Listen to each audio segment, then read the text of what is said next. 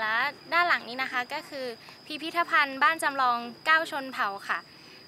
คือรัฐบาลเนี่ยนะคะได้จัดทำมาไว้ให้ชาวต่างประเทศนะคะ หรือว่าคนในเอาใหม่นี่อะไรต่อจากนั้นรัฐบาลได้จัดทำมา จัดทำอนุรักษ์ไว้ให้